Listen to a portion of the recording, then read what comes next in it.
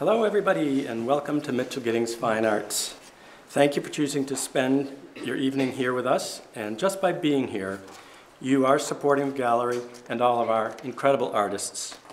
And before I go too much farther, this is where I usually like to thank the Vermont Arts Council, with whom we share a link and space on the Vermont Arts Council calendar, Brattleboro Community Television, Ames Hill Film and Video Productions, Andy Reichsman and Kate Purdy, who film and edit and make available our artist talks and other special events. Also, we have Deidre Scherer's book for sale next to the desk. Tonight we have a chance to explore Deidre Scherer and Jackie Abrams' separate but closely related art forms. Deidre's creations in fabric and thread and more recent woven paper constructions, and Jackie's woven paper and wire vessels. By working with the oldest of human crafts, weaving, stitching, and basket making, they each have thoughtfully and purposefully developed a unique and personal and contemporary artistic statement. Amongst our population of talented artists, they stand out for their complete professionalism, originality, their mastery of their chosen craft, the passion with which they follow their ideas, and above all, for the singular beauty of their creations. And not coincidentally, I just had to add this, we received notice that Deidre and Jackie's basket, Couples, which is number 32 on our uh, list of titles, uh, was accepted into the in-print exhibition Excellence in Fibers 4, where it won the award for the vessels, forms, and basketry category, and which will be published in the winter issue of Fiber Art Now.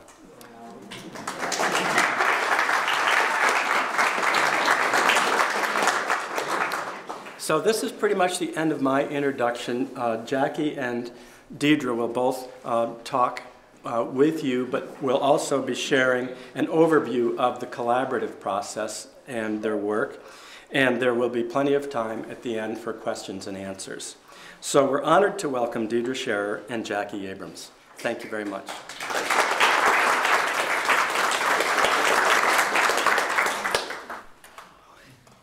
Thank you. I can't imagine on a night like this, on an afternoon like this, this big crowd. I was like, oh, maybe it'll get canceled. so, really, thank you for getting here. This is amazing. I want to say right off that um, my work is on the walls and our work is on the pedestals. And I will give a brief description of how um, I've tumbled through these various mediums. I was a painter right off at first. My father, who worked at the Museum of Natural History in New York, did the dioramas, and so he trained me as a painter before I left high school. And I meandered through a lot of mediums uh, rug quilting is, I mean, not rug uh, braiding, rug braiding. I did all kinds of things while I was raising my three daughters. And Gianna is here. and I um, think that's an important part of my history because I never had a moment when I thought I'm going to be an artist. I always was. And that's the beginning and the end of it. I chose fabric maybe because of my father's brilliance in his field. I also chose fabric because it was more conductive to raising children. And so I thank my children for pushing me in these directions. Um, I have one piece on that far wall called Convergence, and you should go over and check it out when we break. And I would like to show how convergence came about from a drawing I did at Linden Lodge back in um, 1988. And this piece, I did nine drawings of her at least, and I ended up doing nine pieces in the fabric, needing to finally realized that I had to buy two, buy one of them back and create another one that had gotten sold. So eh, this is showing you how I drew and then I went to fabric and then to reconfiguring the fabric inside Photoshop. And I had never a background in Photoshop, which was pretty amazing. Uh, just we were the first kids on the block who had computer. So getting them in through the programs and learning them was a pretty major, I'm dyslexic and, you know, the last person on the earth who you'd think would be computer wise. Once I was getting them copied, I was able to do things like the weaving. So here I have, this is going to become the weft. This is dyslexia coming. And this is the warp, and it's about mm, just over a third done. And I'll leave these up here for you to look at. And I'm leaving these to be looked at closer if you haven't already. I also would love you to be able to, if your hands are clean, just flip them over and look at the backs because the backs tell a lot about what work I've gone through. Um, the fabric is a big thing, and I want to jump though right to the weaving because that segues into what we are doing. And the weaving, um, it's a very mundane, almost like fabric, it's a mundane thing to do. We learn it in grade school. I mean, how many people remember weaving something? How early was it? Potholders. Thank you. And there are many beautiful examples of it being taken way past that. And we have Marcy Hermansader right here, who did a whole series that were a thrill for me to see. Um, they're uh, based on your dad, right? Yeah. And there are ways in which it filters back into my training as a painter who it was mostly impressionist, you know, pointed, pointillism. And that all has thrilled me over the years. There's a lot of atmosphere that is added to whatever you are doing when you weave it together. There's a lot of motion and emotion. And that is also something that no matter how well I've been able to draw or to translate it into fabric or move it into Photoshop and then these weavings, there's a mystery inside of it all that really captures my attention. And as I speak to people, it comes to me that it's also being captured. Thank you. So, um, to give you a brief history of my background, I started out as a teacher, um, and art was not, I was not allowed to take art classes. But when I was 26, I walked into um, a basket maker studio in Chesterfield, Mass. So that was in 1975. Um, and I um, fell in love. He did traditional baskets of white ash, and I quit teaching um, because my parents couldn't tell me what to do anymore. uh, and I quit teaching and I started doing baskets, and for 13 years I pounded trees and collected materials and did functional baskets. In 1990, I decided I really needed to learn about color, and the only way to learn about color was to use it. And so I figured out how I could use a heavy cotton paper and paint the paper and weave with the paper using my basket techniques that I know and love. So my joy, my main joy in making vessels is the shaping. I love shaping and making three-dimensional vessels, and I weave them. So. So then, how did we get together? There was quite a period of time, maybe five years, that we were aware of each other's work. And that's always inspirational, be, being around other working artists and having that exchange going on, studio visits, uh, even critiques. I'd say it's 15 years. 15, thank you. To me, it felt like five. No. We're older than that. And there was a moment when I really was drawn to the idea. Do we have that early cupped one? This is me bringing um, to Jackie. Is there anything we can do with this? And you have to look a little. It was me taking a woven piece such as this and bending it around and then giving it to Jackie because I couldn't get it much further than, and I knew she could.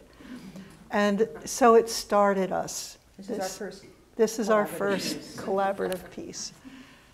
Um, then we started to seriously think about, and here are these funny little sketches and drawings which you could look at up close afterwards, It are different viewpoints. And so, right from the very creation of them, there was an exchange that was impossible not to. Um, it, it's, it's come up like I can feel when I look at them that they couldn't exist without Jackie and they couldn't exist without me. It's scary. I mean, it's like, oh my God, there is a, such a tie in. Such a, uh, and we feel that when we get together. I mean, our joy of discovery and, and um, the way talking with you is always um, an unbelievable experience. Pushing it further. You brought something underway. Yeah, so this is a piece that we're working on now. So um, Deidre hands, we we figured it out that she, do you have, so this is a mock-up, it's obviously not the full size. The full size is this high twice plus the bottom. So she hands me, she works with my paper, which is a heavy cotton paper, and she prints her images on this heavy paper and then hands it to me, and I cut it and weave it. So this is a work obviously almost done.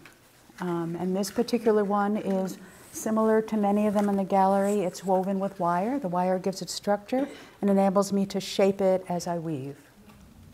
Um, and just to say a word about the couples piece, um, that one was woven with plastic. So it was a different technique. You get a different shape bottom, and there's a clear plastic woven through so that her images are highlighted in the, in the piece as it's woven. I love how Jackie will con- continue a conversation with the figurative work and come into it's like sculpting it um, way beyond the what is it basket making way beyond because she really um, the undulation of the surface is actually this conversation I see. So together, I think we create, as Dee said, we create forms that neither of us could do on our own. I mean, I can create forms, and she can create images and, and narrative pictures, but together, putting them together, we have these other forms that we're quite pleased with. Um, what can I say? we're quite pleased with them. Yeah, but we haven't finished yet. We are still working on it. Uh, there will be a show in March at the Brattleboro Museum, which is quite exciting, uh, that will show a continued effort and adventure. So, um, is that enough to get knee deep and, and ask for questions? Oh, Jackie, could you explain how the, pla- how you use the plastic? So is that in a sheet and then you cut that? Yeah, so here's one that. Um, so one of the things is that, just to give a little side story about the plastic, is that I purchased a sheet of architectural plastic, I think 20 years ago, and somewhere in the back of my head, I remembered that it was in my paper cabinet. I don't know. So I'm weaving the first piece, um, which has the images on, and I'm weaving the first piece, and I'm so that in basketry technique, the vertical elements are spokes and the horizontal ones are weavers. And I was weaving the first one and realized that if I used just paper, like I, as the horizontal weavers, on the bottom it would cover the images. And I remembered that I had that piece of plastic sitting in my cabinet. So since then, I have used it for my own work as well, because I think, I love that plastic. But it was a growth from using it the very first time where the plastic lets you see the images, it doesn't obscure them at all. And then you can't form with the plastic, you can't shape, so that's why there's paper at the top and the bottom, paper weavers. Can you hold up a couple's one and turn it around so people can see the complexity? It has a configuration when you turn it and view it um, called parallax, or does anyone have any info on that? Um, It sh- uh, shimmers. Interference pattern. Show the inside of this. Say it again? Maybe it could be called an interference pattern, like an Inter- optical effect Yeah. as you're looking through it. And when it's simply sitting, it gives this uh, other thing, the shadows and spokes get quite complex.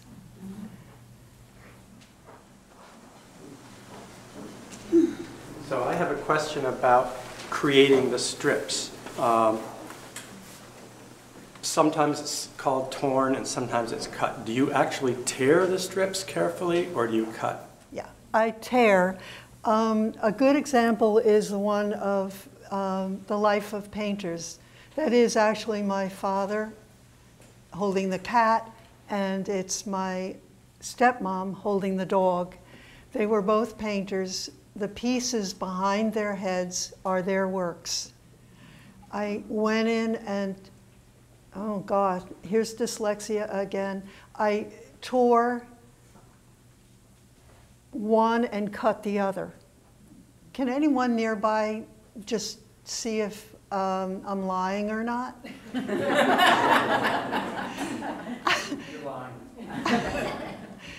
It, one, can you tell? Yeah, you, with, with good eyesight.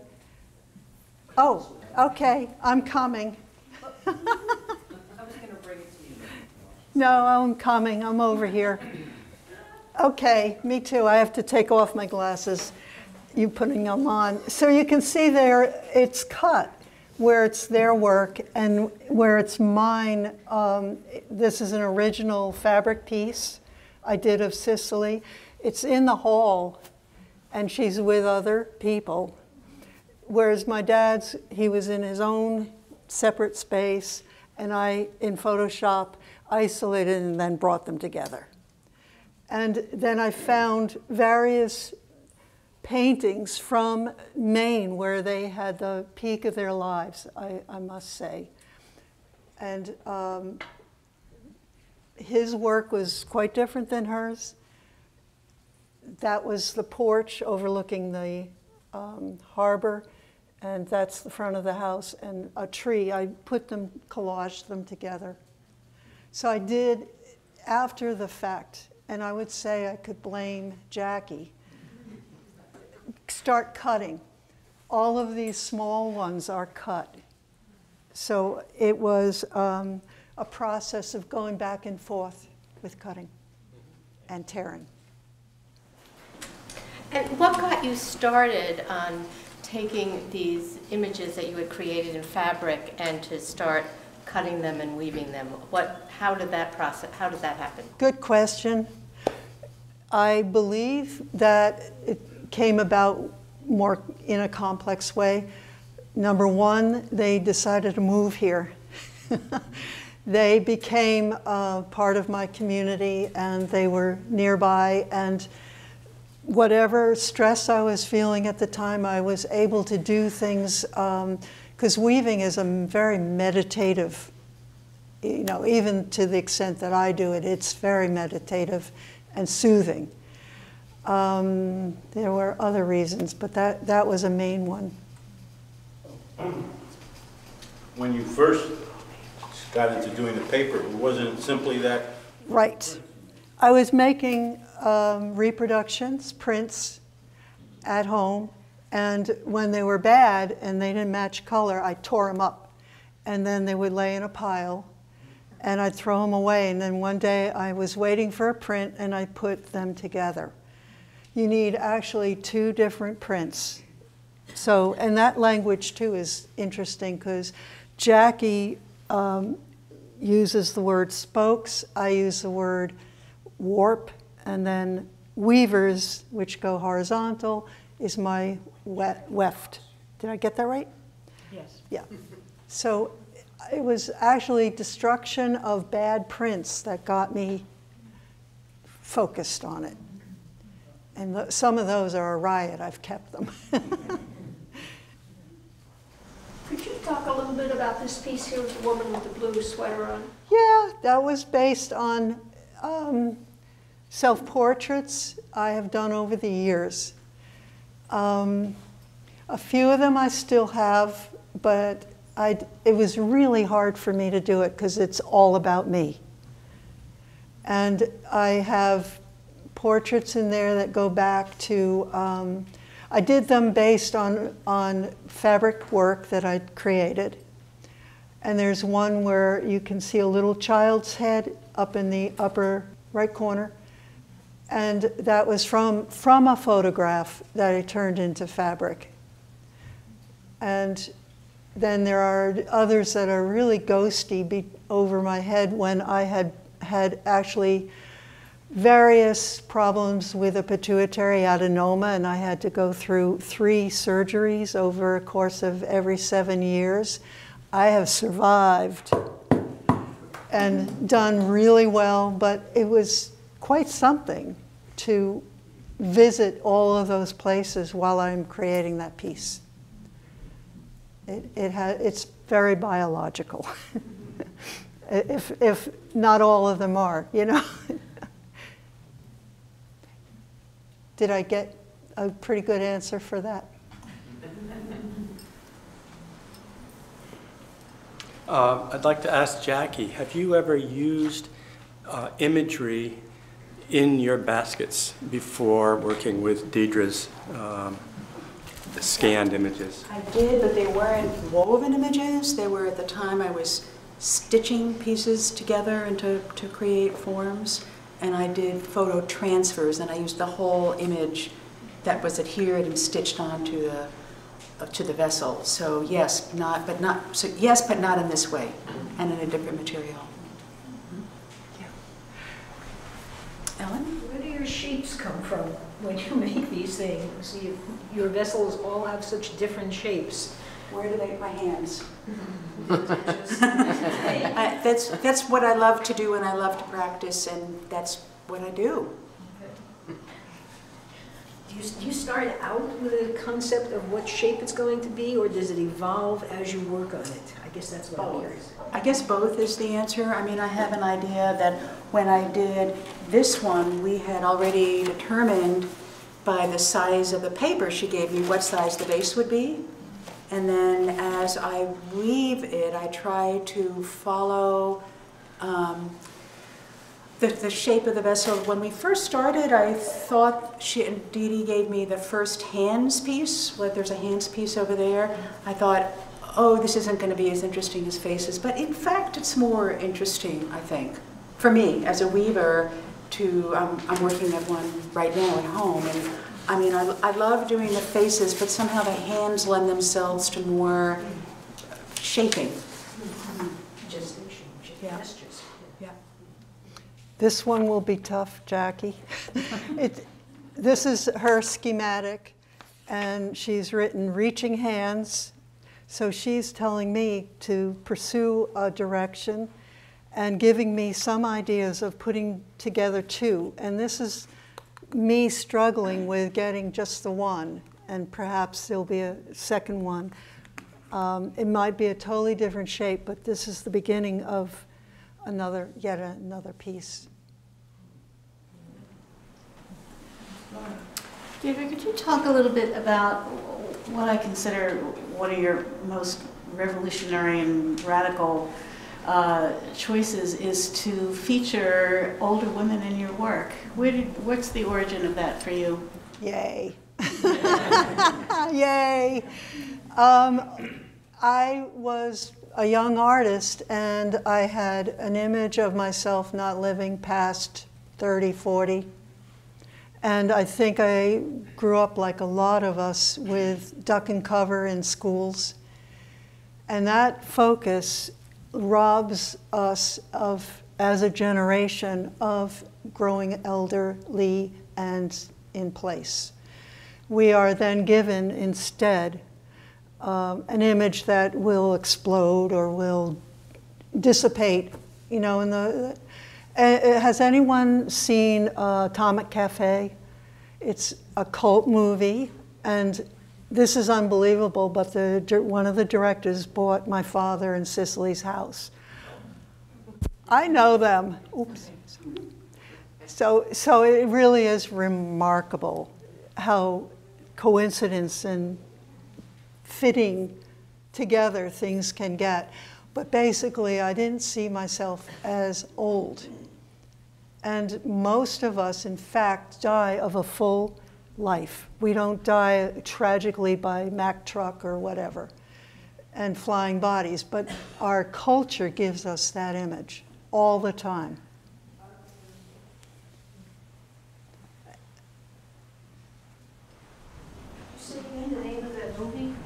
Oh, I'm sorry, Atomic Cafe. It's a great one. It's very revealing. My, my daughters took, it, took me to it on my birthday a number of years ago, and it was like I saw all of this footage in grade school, and it had been submerged. Um, Deidre, why on the on your the piece right behind Jackie, you changed the color of your background? Uh, they usually appear to be lighter. What uh, did it? How did that come about? Um, at first, I was thinking about women and children and the influence of catastrophe. And the catastrophe got too beautiful. It was mesmerizing. I was using, I had silks, I, I, all kinds of fabulous flame and, you know, dark colors were part of it. So I calmed it down, but it, it represents um, the unthinkable of how does one survive on a roadside or in, inside of um, a catastrophe.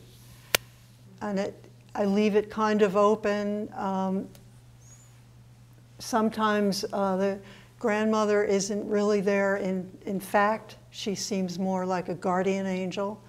And sometimes she really is there. Uh, it goes back and forth for me. Yeah.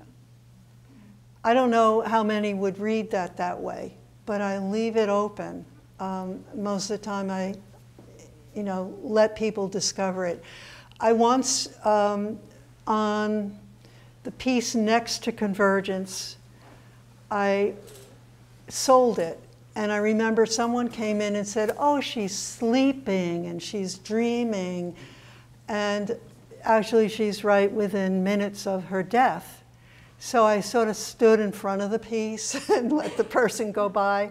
And finally, someone walked in and said, Oh my God, you have captured this moment. And she was compelled. And it, it made me feel good because she ended up in the right hands. Uh, I, I like people to recognize what they need to recognize, but it felt important.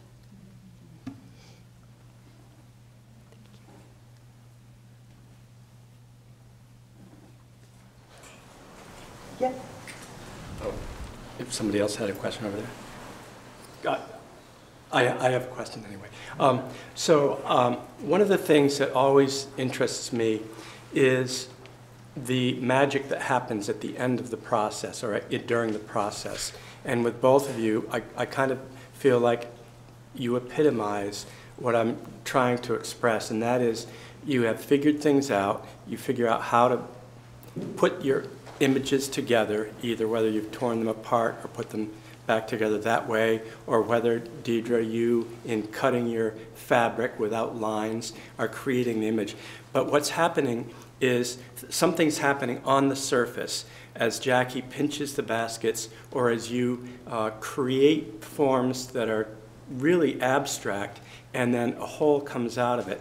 But more has happened because all of the things you were thinking about, all of the things you tried to get out of your mind, uh, have created a brand new narrative. And I think when you talk about somebody seeing a person sleeping and somebody else seeing them uh, just before death, uh, reminds us that we are bringing our experience to what you're doing. And uh, that's one of the things that I hold to be a very dear and important part of, of the artwork. And I'm just, uh, I said it uh, as I introduced you, uh, we're honored to have you here. But uh, that's the reason, just as an artist, um, that is very important to me. And I think everybody here is in for a real treat as, as you really investigate and look at this work. Thank you.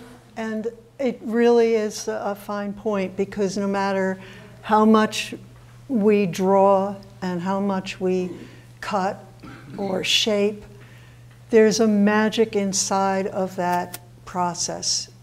And I literally cannot say how it happens. But if you set yourself there, and if you are there long enough and you put in the time and the effort, it's likely to poke up. It's likely to come through. And that's what I think is exciting to me as I work, exciting to us as we work. Would you? Mm-hmm. I would agree, yeah.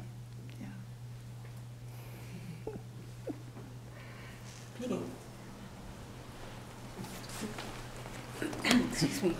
I'm curious about your lineage, both of your lineages, um, your background with moving into your particular art form, and who has affected you, your lineage. So, can you say a little bit about that, both of you? Like our mentors, do you mean? What has affected you? Mentors, people you've worked with, a teacher that really stood out, just people that helped you, affected you. Yeah. Um, so I've had um, I've had many very excellent technique technical teachers along all these. This is forty something years. I don't know how many, forty something. I've had many technical teachers that have helped me with the skills that I have. Um, conceptually, though, because my baskets are no longer about techniques. They include techniques, but they're not about techniques. I think the most the thing that made the most difference for me was I've done a fair amount of craft development work in Africa, um, working with women and my experiences with those women and how those women affected my life from the very first time, very first day I was there, and how many trips back and forth I've taken, um, made me do what I did. And this is what why part, partially why Deidre and I became together. I started doing these pieces that I called women forms, and I've been working on them for a long time. And it's about how our experiences shape us. And the women that I worked with in Africa had nothing. They, they had nothing. They lived in these little shacks, and um, but they had this joy in life. And um, and I try I try to live my life like that as best I can here with a whole house full of stuff. Um, and, and in the work I make, I try to express that. Um, I would say one of my biggest influences was my father. Um, also, my um, awareness of certain works, and Käthe Kollwitz stands out really strongly. Um, Paula Modersohn Becker, but Käthe Kollwitz I come back to a lot because she worked with the, the roughest materials. Uh, if you're not aware of her, look her up and you know find find your way. I'll I'll give you the spelling, whatever you need. Kollwitz with a K. Okay, and she she definitely. I mean, artists all through the years. Rembrandt would do someone on the deathbed. But so few people would just take a hold of what is um, not nice art, you know. And even in the early part of my career, it was often asked, first thing, why are you doing elders? You know, in a negative, not a positive way. Somewhat the culture has changed. We are aging. Uh, we have, have a major, um, and, and there's more availability of hospice and other things that support us. The hospice locally supported me going out and doing the work. That became, um, this I had already done. The last year was finished, but surrounded by family and friends, which I have a catalog of, was primarily the local hospice connecting me. And I went throughout New England looking for people to, to be connected with. Um, many influences. Uh, there, I, I often sit at my table and I think, who else is with me?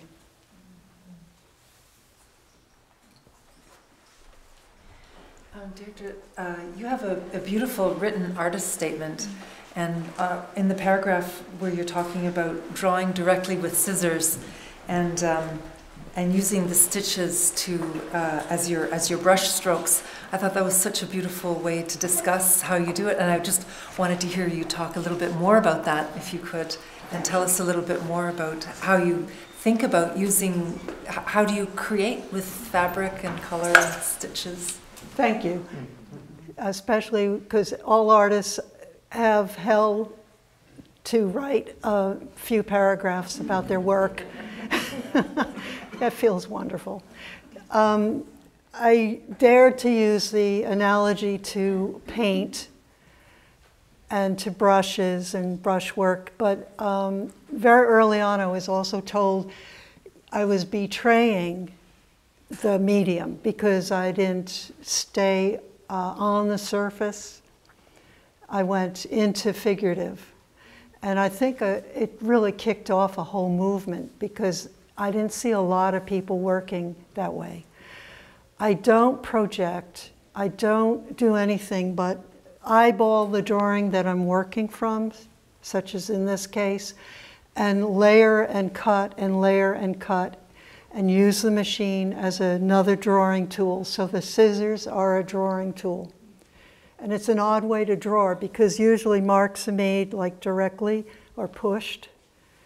And the scissors are more direct, but the machine is like it's in the middle of this motion to do whatever you're lining or creating.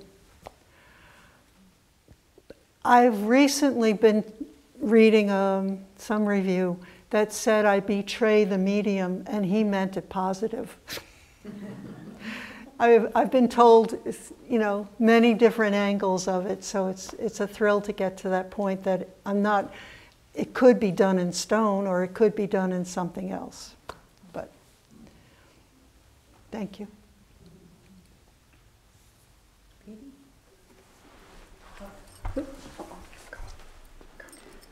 So I have a, question for you um, about your baskets and how using those image, Deidre's images has changed your basketry. Um, well, or, ha or has it, or how has so it, it has. So I've started using the plastic, as I mentioned before. Um, but it, it, so when you're making one of those baskets, um, is it somehow different for you using her images than as if you than if you were just making one of your baskets otherwise? Yes, it's different because when I do these kind of forms, which is the same technique, I'm I'm focused on the shape, but I'm also focused on the surfaces that I know I will create afterwards because usually I don't have I don't have images on it. So when I'm doing this, the images are the final product or the images are what it's about and so I have to interact with the images in a way that I don't necessarily interact when I'm weaving my own work that I know I'm going to cover and, and create something else on the surface. So it's a different it's a different way of thinking and interacting with the form as I weave it. Has it affected the, the shape of the vessels at all? The, the form, her images, yes, definitely affect the shape of the vessel. Yes, definitely. So just to me, an example of that would be this one that has the top that goes up just as the heads are um, ascending upwards, you know, it fits, the Yeah. shape fits Right. that. So I try to respond to her images, and we talk about it in advance what images we're going to put on there and how we're going to work on it. I mean, each one of these represents a lot of hours of talking. Um, and, um, you know, meeting and talking and evaluating and, um, and, and so that one has paint on it. So that one has paint on it, and there's one, the inside of the clasped hands one has paint on it, and, um, Sometimes it's we're dealing with a mistake. So like that, when that was done by a professional printer and the inside of the, of the paper was messed up. So we thought, well, how do we deal with this? We, Deidre painted it so that it became something else. So did that answer your question or did I go off on a tangent? Yes.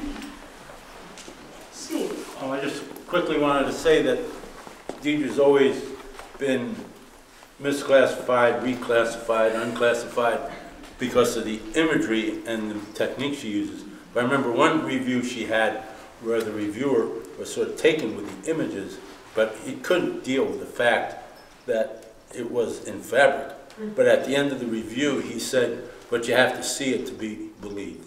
Mm-hmm. So, Baltimore Museum of Art, Baltimore Sun.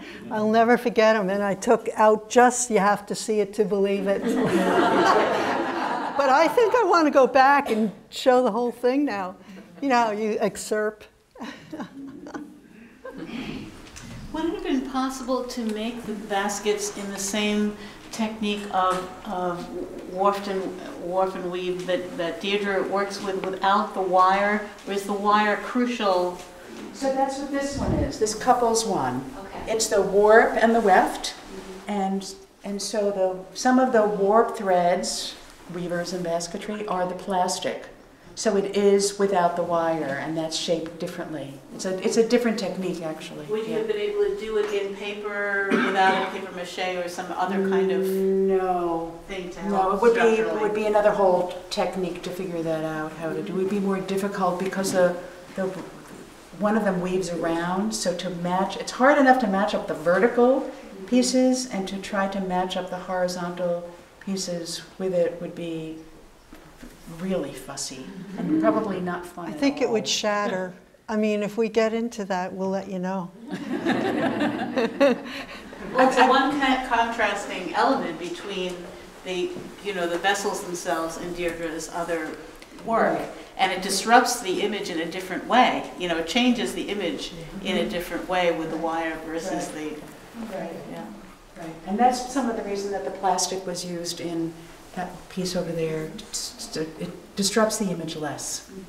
And then, of course, the choice of the color wire changes everything also. This is kind of, or actually quite relevant, having to do with the collaborative um, works that you've done. Um, Josh is here, and you did some amazing collaborative work with a glassblower. I know there's not an example here, but it's more um, having to do with, you really like to adventure and to collaborate. And I just is have so much respect time. for that, huh? Yeah, this is my fourth time Yeah. collaborating with other artists. It's- It stretches me, it makes me, It's so great. yeah, makes me, I like experimenting and failing when you, if you experiment. Failing is as important, you learn as much from failing, even if it's ugly, and then you have permission to sort of wreck it and learn and keep moving on. It meant a lot to me to have the wisdom of someone who has done collaboration because um, I've, I've been a little less familiar. So it really did help to have your clarity about that. We, I mean, brought different things to it, but hers was very much a, a homing in. Thank you. Georgie? I was surprised how much one sheet of paper cost when you were making the baskets and that maybe when you eh, revealed that cost, people in the audience will understand why you correct the mistakes, because I was stunned. Do you want to tell them how much one sheet? It, it's, it's that and the printing. Yeah, the printing. the printing um, two-sided. And it's, um, I, I must give credit to Lotus.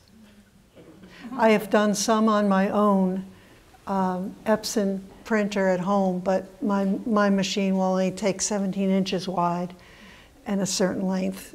They're bigger, and they have been wonderful.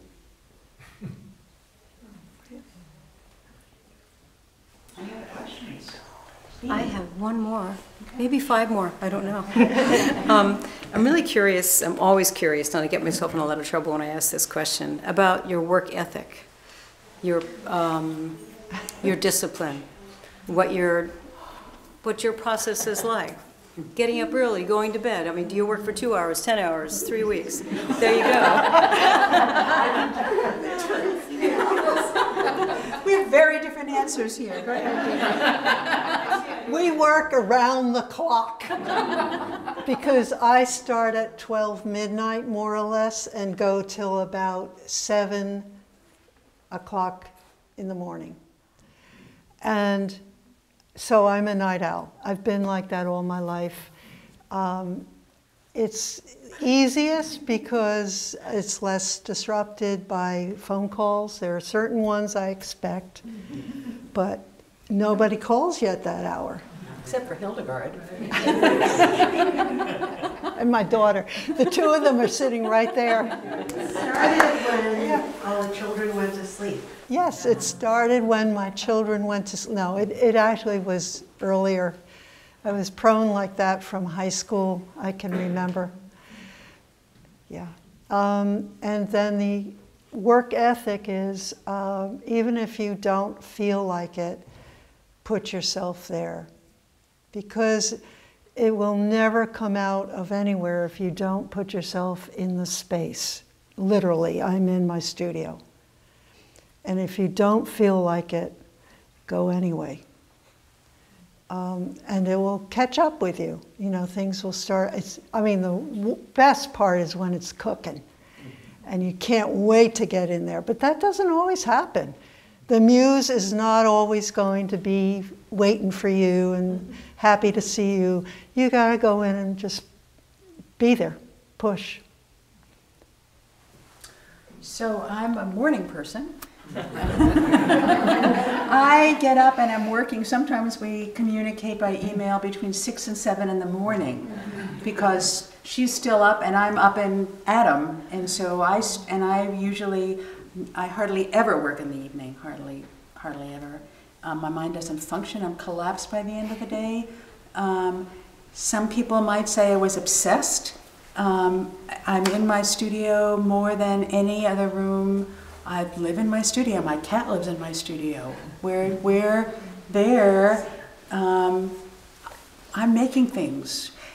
But the other side of being an artist, which really is not good, is all the paperwork and the ordering and the computer time and anyone would knows about that. That just um, it's a terrible part of what we do. It's not a creative. It's not creative. It's it's computer and it's paperwork and it's and every and you have to do that if you run a business and you're trying to sell work. You have to do that.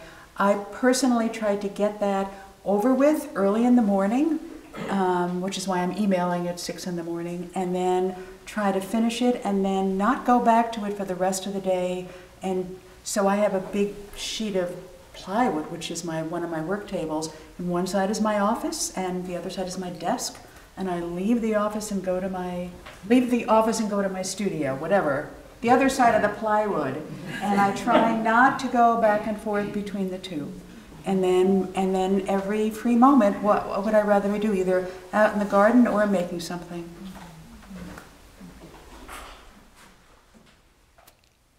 Any more questions?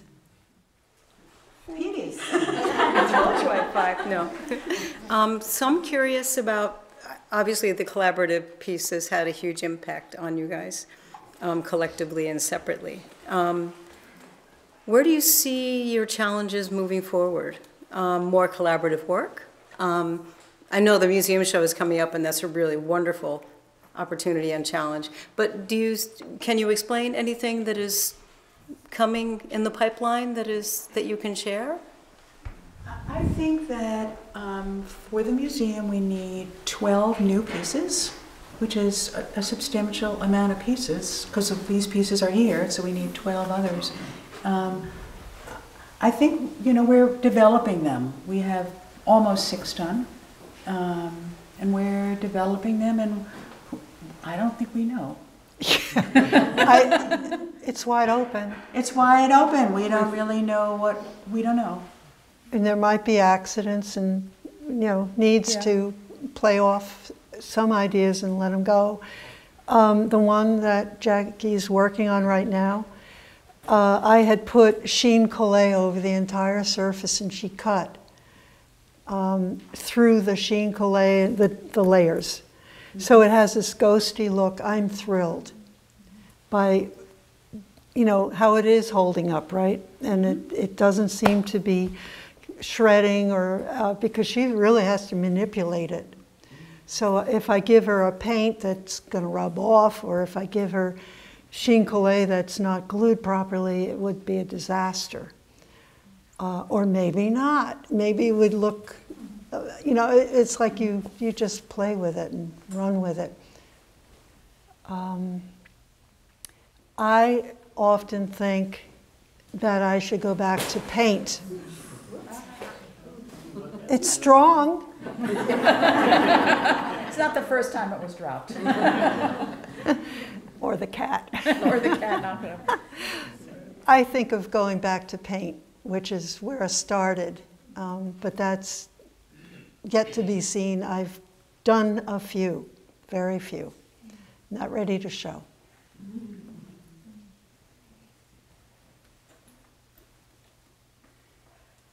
This is it, going once, going twice. Oh, I have one more. Oh. Did, did you, um, Deidre, did you ever do landscapes or Yes. in, you did? Yeah. Yeah, before um, finding the elders, I was meandering through a lot of subject areas, and I did um, really, I would say, very conservative landscapes. Uh, one important one was a um, red building over in Keene, a nice old building that I did in trade for teeth. I was, I had a wonderful uh, periodontist who traded for a lot of work. And I did birds for a while. I had one bird that came up actually fairly recently. Someone asked me, could you do a bird? Um, it has to be a, a hummingbird. And it had a whole story about um, this husband who died and told his wife, I'm coming back to visit you as a hummingbird, so watch out for me. I said, No, I don't do birds anymore. So I'm taking my compost out to the garden, and I hear this, and I turned around slowly, and there's this hummingbird right this many inches away from the back of my head. And I said, Okay. And I did, I did, I did this hummingbird for this commission. And um, I'm thrilled that I did it. They were thrilled, but it's sort of like I better do it. Is, is illustration a big part of your work now? Illustration. Illustration? Um, I've done an abstract book. That was a collaboration, but I, um, it wasn't as, it, it was a different type. She lives on the West Coast, and the book isn't ready yet, so I, I wasn't even going to talk about it. But um, I haven't done illustration. I get chosen. Uh, you've seen covers that I've been on and things like that occur, but I actually don't go after them. They go, come after me.